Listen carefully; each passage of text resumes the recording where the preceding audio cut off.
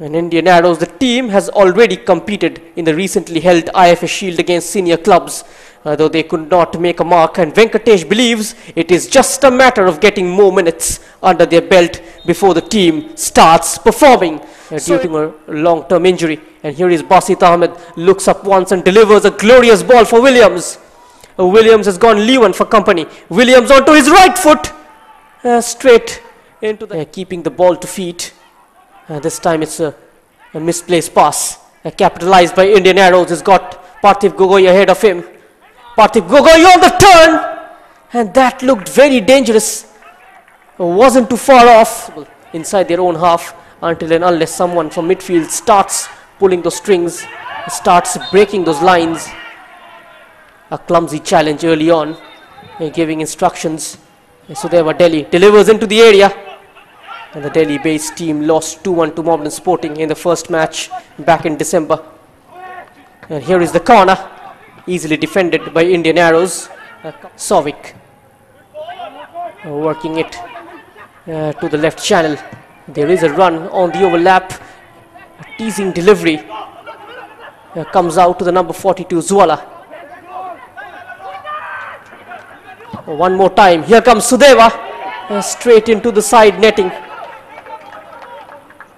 And there is a man on the overlap deciding to cut inside. A solid outstretched challenge from Nischal.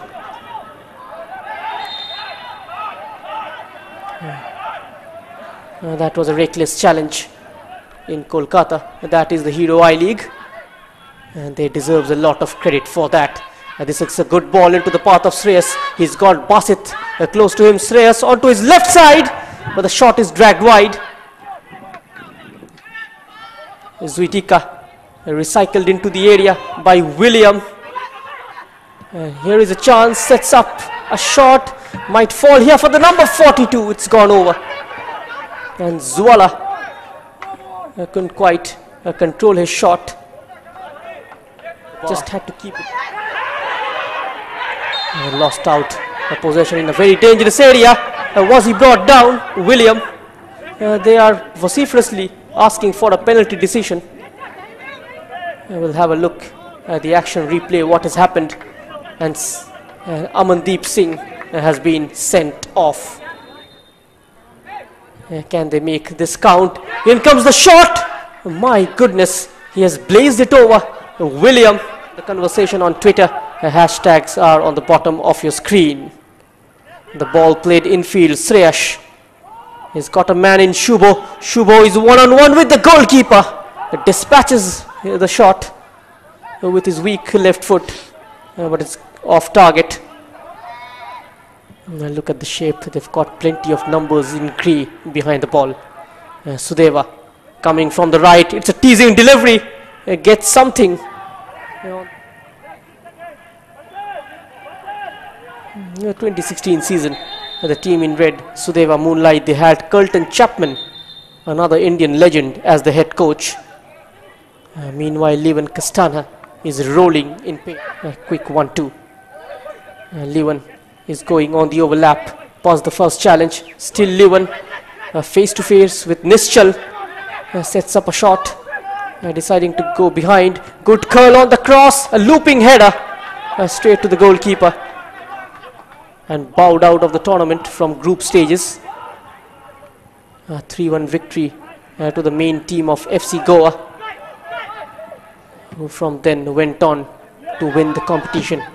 And now getting in behind his one on one, tucks in and gets the job done. And Indian Arrows against the run of play have taken a lead here.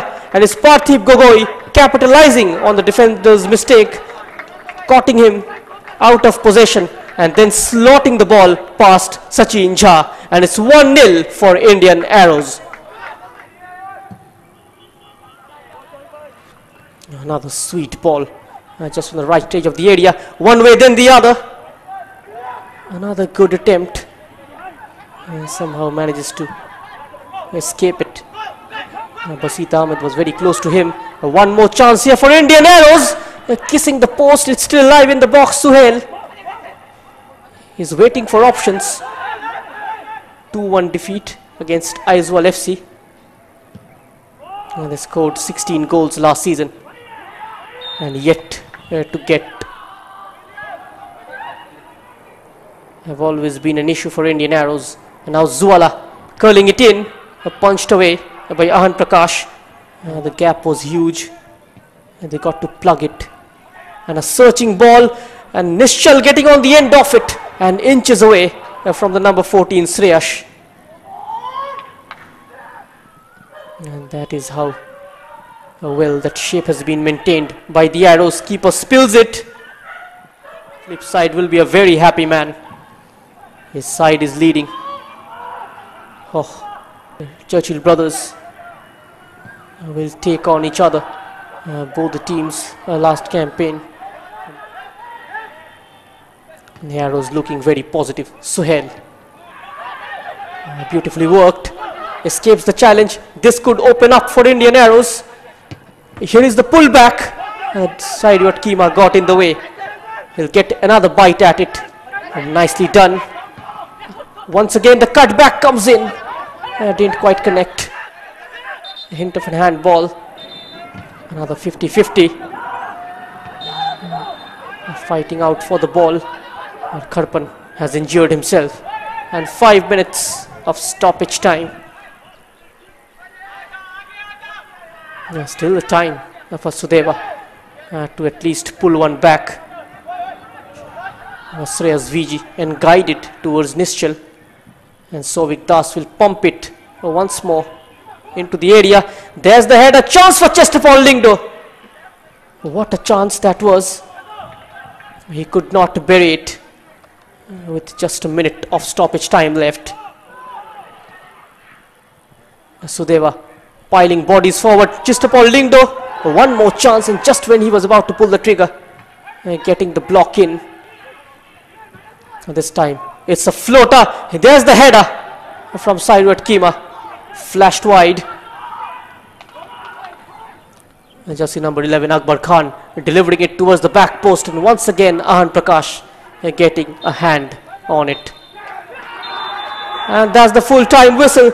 So Indian Arrows uh, clinching uh, their first victory of this new Hero I League season. Uh, with this victory, as I have mentioned before, they end